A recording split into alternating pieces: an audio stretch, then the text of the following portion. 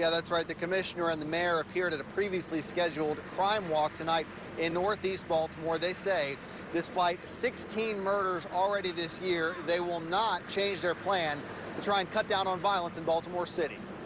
The community walk in northeast Baltimore comes in the midst of a spasm of violence affecting neighborhoods all around Baltimore City. We've seen a lot of random violence uh, in the beginning of the year, and we certainly um, had hoped uh, that the year would start off better. But Mayor Rawlings Blake said even 16 murders in the first 12 days of the year is not enough to shake her confidence in the plan she and the police commissioner say they have. What we know works is focusing on violent offenders and working in partnership with the community, and that's what we're doing this evening. Shortly before the walk, there was another shooting in Baltimore City, this time in West Baltimore on Mount Street, just south of North Avenue. The victim is expected to survive. Police have no suspects, and in fact, they have made no arrests in any of the 16 murders so far in 2014. But one of the suspects, Robert Hopkins, killed himself, police say, after killing another man in a carjacking last week. Tonight, the commissioner said he expects investigators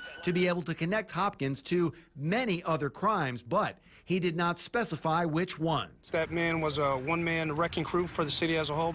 I think what, you're, what we're going to see as we lock it down is that he did a lot of violence out here on the city streets.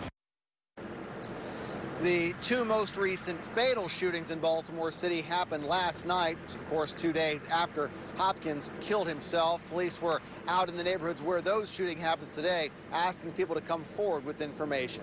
Live in downtown Baltimore, Christian Schaefer, ABC 2 News.